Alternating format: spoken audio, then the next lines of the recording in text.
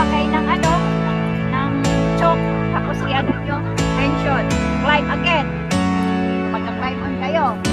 Hanggang ma-reach nyo yung anchor na yan. Pagdating sa